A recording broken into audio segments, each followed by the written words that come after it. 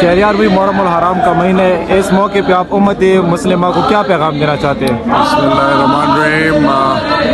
तमाम तारीफ़ रब की और अरबहा इमामबिया ख़ातमनबीन हज़रत मोहम्मद मुस्तफ़ा सल्लल्लाहु अलैहि वसल्लम पे।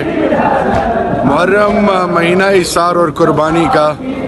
अल्लाह के महबूब के आल की कुर्बानी, उसकी मिसाल नहीं मिलती। ये पूरी उम्मत और इंसानियत को ये मैसेज है फ़लसफ़ा हुसैन, सालिम के आगे खड़े होना, मजलूम के सर पे हाथ रखना।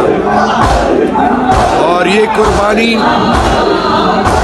इसका कोई नेमुल बदल नहीं। है इंसानियत का जो एहतराम और इंसानियत की जो मिराज है उसके लिए अल्लाह के महबूब के आल ने ये सब कुछ किया और फिर दीन इस्लाम की सरबलंदी के लिए और हक का सच का आलम बुलंद किया और ालिम को ये मैसेज है कि कुछ भी हो जाए, इस रिवाय रब के किसी और के आगे सर नहीं झुकेगा। यही हज़रत इमाम हुसैन और उनके प्यारों ने साबित किया और तारीख इसकी गवाह है। और आज पूरे पाकिस्तान में बड़े एहतराम से मुहर्रम मनाया जा रहा है।